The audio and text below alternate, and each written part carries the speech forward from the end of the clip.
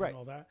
Then we have on the other hand, we have like Jake Paul fighting uh, Woodley, I knew that was coming. um, and and it's a boxing fight, and they're the main event. Um, two guys that yes, Woodley's a, a fighter, and he probably has some boxing or I, I don't know his. Well, he was a well. UFC champ. Yeah, yeah, I know he was a, a Right. UFC champ, but I'm saying, uh, and and Jerry and I were talking about this earlier, how he's not. Yes, he's a fighter and everything, but he's not a boxing, boxing, strictly boxing person. You know, you could argue that someone like like Keith Thurman. I'll, I'll throw out a B fighter. I, in my opinion, I like Keith Thurman, but he's like a B fighter, right? Solid B fighter. Um, he's he could top Jake Paul, I think. right. Honestly, Oh yeah. Right. um, but Jake Paul's calling this like, ah, now I'm calling out Canelo, and yes, I know you want to sell tickets and all. Are those fights, the the popularity fights, um, more damaging than a Pacquiao, 52 year old Pacquiao coming out or whatever, uh, defending It's a, like a 44, I? I don't think I don't think either one is damaging to But the but sport Jerry of made a good point that there's an on the I didn't- I didn't hear co-main event. Well, Okay. on the co-main event, Yeah, I didn't hear Jerry's I didn't hear Jerry's response. Um, but I'm just gonna give my take really quick. All right. So I don't think it's damaging either way because that's something that's been going on since the beginning of time with boxing. But it's guys it's that happening more often. guys, I guys think. that been hanging around the game for far too long. Happened with Muhammad Ali, you know. Right. Um, so old guys stepping in, retiring like three, four, five times. They get into the ring, they get their ass kicked, and then, but you don't. I don't think it's damaging because the guy that they're gonna fight, all of a sudden gets a name for himself. You know, they when they wouldn't have had that opportunity. Like this guy that just fought Pacquiao.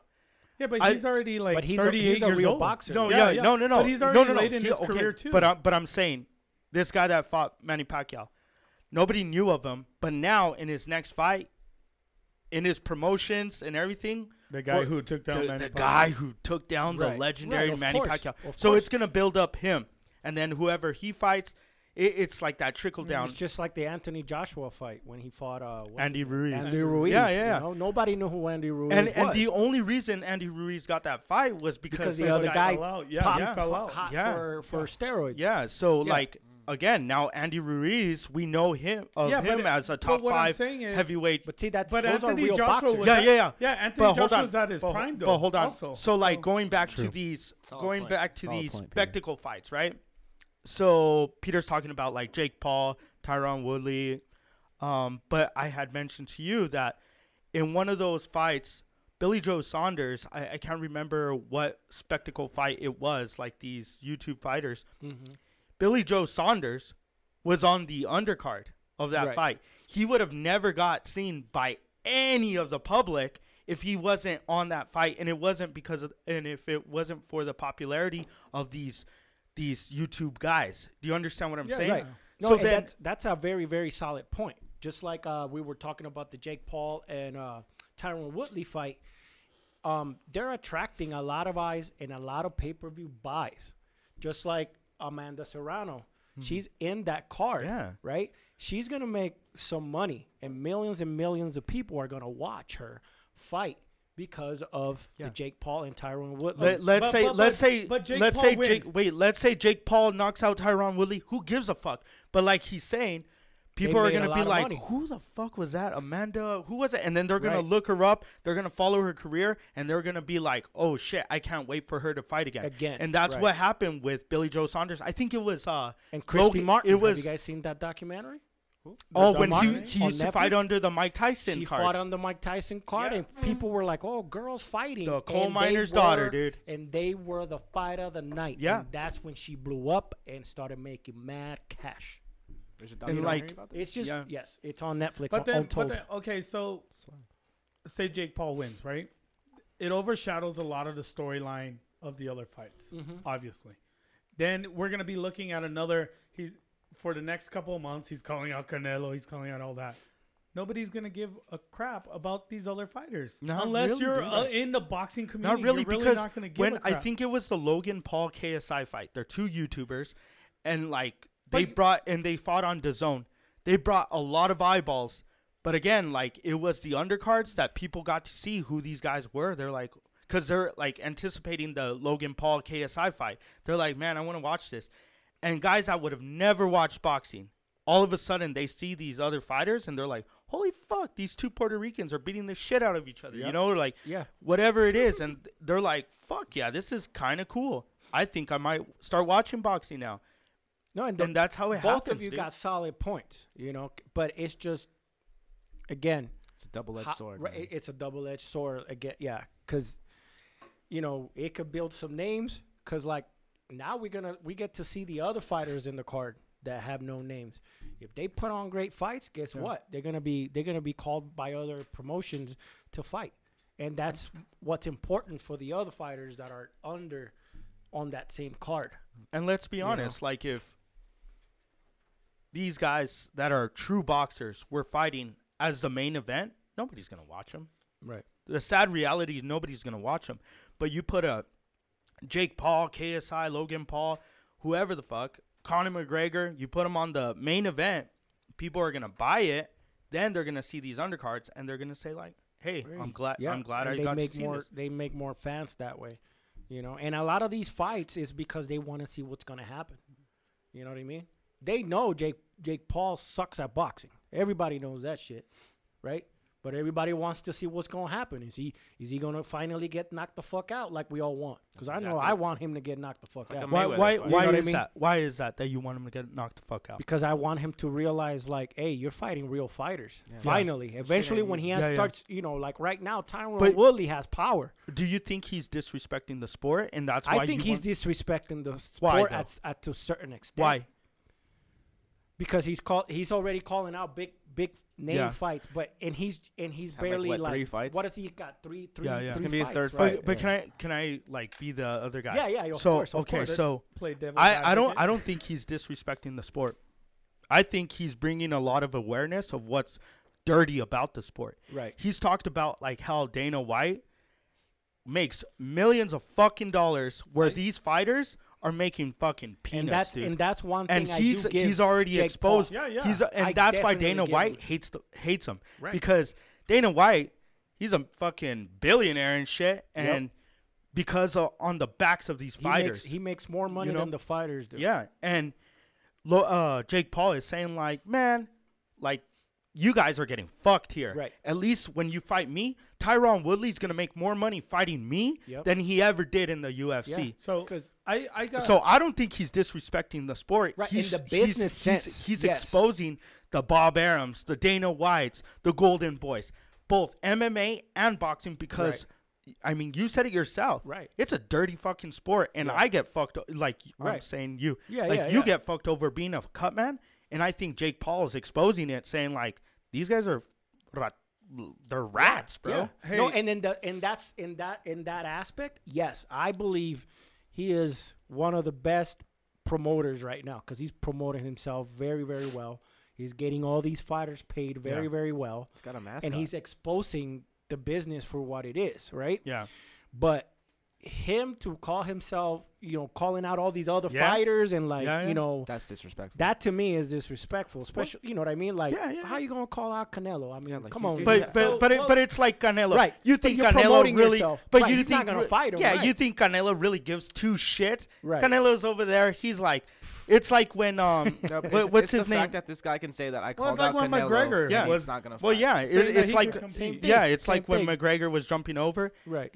McGregor's a he's a fucking athlete. He's an MMA superstar and everything, but it's a different sport. And Right. he was doing it, and a lot of boxers thought it was very disrespectful. Analysts Right. and everything. But he still made like fifty-five But like dollars. Ma- like McGregor Yeah. was saying, and like even now McGregor, Meg, McGregor calls his own shots even in the UFC, even though he hasn't won a fucking fight since like 2016 and he or still whatever. the makes fuck. millions. He still makes he calls his own shots. yeah. You know, Yeah. and you know that frustrates Dana White Right. Because at the end of the day, the UFC doesn't want independent fighters. You know, Mm-hmm. they want fighters that are gonna go in the ring and they can fucking go in the Right. cage and they can make money off Right. of them. You But know, so here- now- here's now- the thing, though. What I was gonna say was, um, how how Jake Paul's calling out all these boxers, and yes, I'll agree that he he's exposed how um, the promoters control everything, Mm-hmm. because I think any true professional, especially like a- any professional boxer would jump in because you have this pride, like for the sport, and you'd be like, "All right, fight me. Don't fight. Don't fight an MMA fighter in a Yeah, boxing find match. fucking boxer. dude. Fight. Right. That's, you know, that's what like- I'm mad about. It's like this guy. I, hasn't I fought a wish boxer. that Canelo could call his own shot and just say, "Okay, Yeah, let me meet fuck you up. me three months from now. We'll do this." Yeah. Flagpole, three o'clock. Yeah, yeah. Well, see, I, I guarantee if they said nobody, uh, I mean, just uh, I mean, this would never happen, obviously. Yeah. But never ever say never. sell the fights, and no, nobody gets a check. It all goes like whatever. Let's see. well, What do you? Charity. but here here's the thing. That kind of already happened when McGregor was prepared. uh was called into a camp to like spar and everything with Paulie Malignaggi. And that video got exposed and it wasn't supposed to and that's what Malignaggi got fucking pissed about because Yeah, but They- they Malignaggi was told one thing. I mean, you could you could say Yeah. one thing. He was told to go in there and spar with him. yeah, And when somebody and you you know Mm-hmm. if you're sparring, yes, you're fighting, you're fighting. But you're fighting at a almost like a Right. learning You're not going. 100%. you're not going Yeah. 100%. And when that next supposed to. person is going 100% and catches you off guard, of course, dude. Yeah. That's Yeah. like in football or any sport that you're going half speed, one guy's going half speed and the other's Yeah, you're you're going to be like, But- "What the?" Yeah, it's like they got the and if offense there's on video defense. where you get hit or knocked down or whatever the case and you're So getting, would you say Mayweather's disrespecting the sport because he's already had about three I, spectacle I say fights? Mayweather's contributed so much to the sport that That you- it doesn't there's- yeah, matter. there's what no the way yeah, fuck it doesn't because- matter what he does. 'cause the and we reason- all know it. Because the it- reason I'm asking, he already had the Conor McGregor fight, he had the Logan Paul fight, and then he fought like some kickboxer in Japan that Yeah. weighed like a buck twelve. He was and undefeated, he, though. and he, he beat the. Fi- he was what? He was undefeated though. Yeah, but it was a fucking But- child he wasn't- was and fighting. wasn't- You know, and, and And that was wasn't just even. like It exposure, did, and that like one did we it. But- and that one was considered an exhibition Yeah. match, Yeah. so it didn't really Yeah, count. even. So yeah. one thing about Mc- well, I'll use McGregor and Mayweather fight. Uh, the difference between that, I really do think that McGregor or uh, that Mayweather was defending the sport opposed to um, making a farce out of it. Uh, I mean, yes, obviously they both made big bucks, and yes, but at no point in that fight was uh, Mayweather ever in true danger. He toyed with him. If you're if you know his career, he toyed with him. He knew he could take his punch, and he let him throw a couple, and then he showed off. And Yeah. He, I mean, just he, showed when he fought Logan Paul, he same thing. held him up. yeah. yeah, He held him up. yeah, he Yeah. freaking knocked him. like same thing, and that's that's why when But- like Jake Paul was talking in the press conference, that saying, "Oh, my brother uh, gave Mayweather." At what point did he give him any trouble? But I think he's just again, Selling it, He's yeah, just yeah, yeah. selling it. It's like Right. uh, Jake Paul is seeing this as a WWE promotion rather than boxing promotion, and that's the thing. If you're if you're a boxing fan, you're not gonna purchase this this fight of like who who who's the best, Tyron Woodley Yeah. or Jake Paul. But- well, that's what Jake Paul's good at, right? back Is to- the drama. E- Like exactly. that's that's Right. what And he see- Yeah, does. Jake Paul. Jake He's Paul is just basically saying, I'm gonna put on a fucking an Reality entertainment TV. an entertainment event. Yeah. He's not saying this is a boxing true boxing event. He's not fighting a top fifty dude or anything. But you're kind of contradicting yourself because you were saying that he's exposing how they don't get recognition. And all. He if you're really, then fight a true boxer. A true boxer. he doesn't not, need to though. He doesn't need to. That's what he's showing. He doesn't need to like fall into because here's the thing: if he's gonna f- fight a true boxer like uh any of these guys that are in the top 25, Yeah. he's gotta fucking pay their promotions. He's saying fuck those guys.